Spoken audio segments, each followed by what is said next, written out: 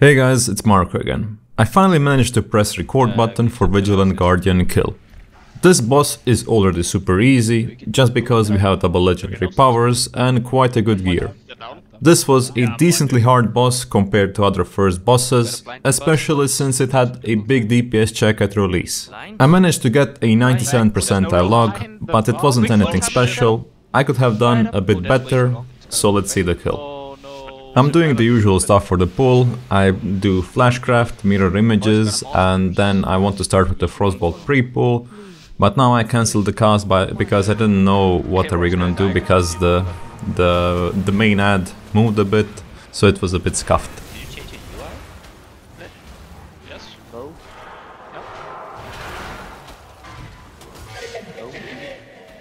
I'm autistic, I play with for like 6 years already. This is actually my second time doing this boss. I know that I shouldn't just focus on Vigilant Guardian, I like we need to prioritize the ads, but I'm thinking yeah these guys are just dying way too quickly and if if we get a call that we need to kill some target I'm just gonna focus on it.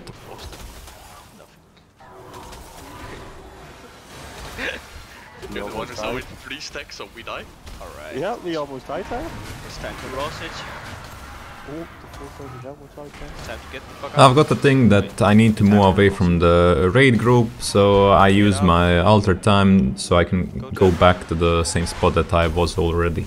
Uh, it's always nasty when you get these RNG mechanics. Your DPS is definitely going to suffer the more you get them. Ideally, you, you don't want to get them, for sure.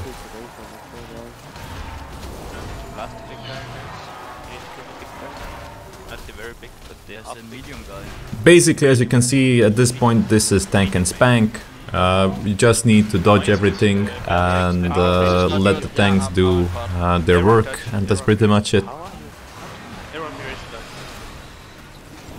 The fuck, Sage? It's You also need to get into these protective zones so you don't get one-shotted outside of the raid. Big guy, guys. Can you knock out?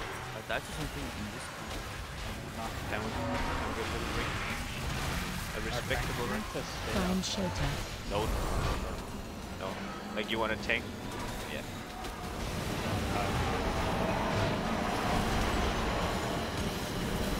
I'm doing a little bit of panning as Just well. wait moving. Stay here a little while. Kill the uh, kill the shield boy.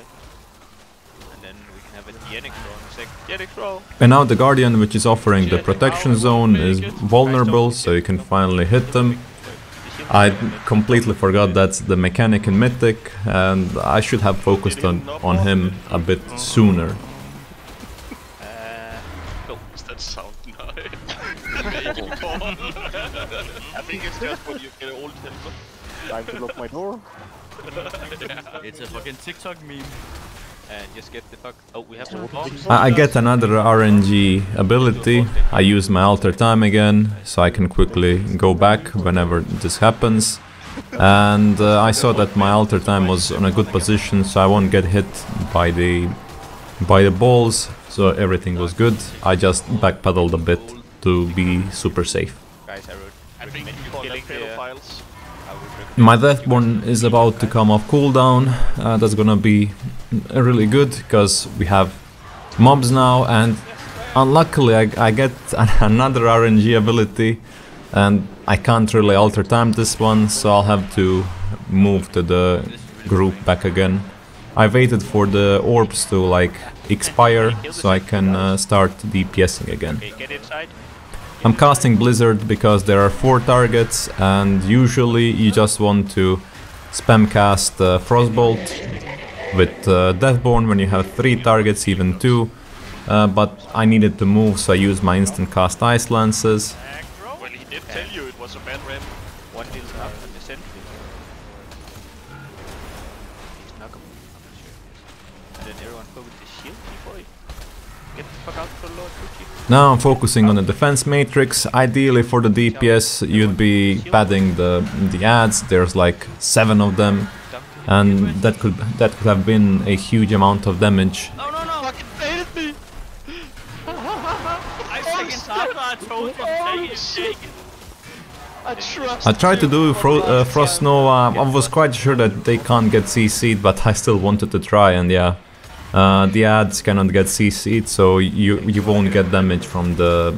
It's not gonna be a guaranteed critical. Oh. And now the boss is soon gonna go uh, into the last phase, and we're gonna s- soon, uh, and we're gonna do heroism soon.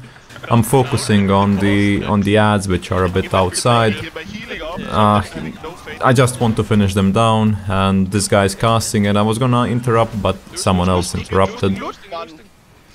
And now basically we're just killing the boss. We popped heroism a bit early, just because we have more than enough damage to to delete this.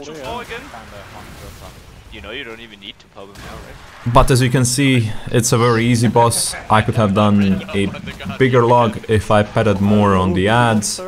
And uh, also, if I didn't get three of the RNG abilities, I could have saved uh, a few Frostbolt casts here and there, and that would definitely boost my DPS overall. And the worst thing that I did this fight is the fact that I used my potion one minute into the fight since I forgot to use it on pull. And I couldn't benefit from double intellect potion and that definitely cost me a lot of DPS. And that's it for this video, thank you for watching. And until next one, take care.